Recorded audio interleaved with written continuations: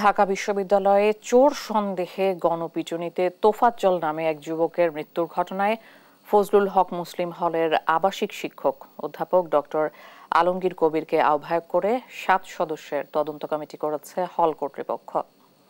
বৃহস্পতিবার সকালে এই কমিটি গঠন করা হয়। কমিটিকে সন্ধ্যা ছটার মধ্যে তদন্ত প্রতিবেদন জমা দেওয়ার অনুরোধ জানানো হয়েছে। বুধবার সন্ধ্যায় চোর সন্দেহে ওই যুবককে আটক করে ফজলুল হক মুসলিম হলের শিক্ষার্থীরা পরে সে গণপিটুনির শিকার হয়।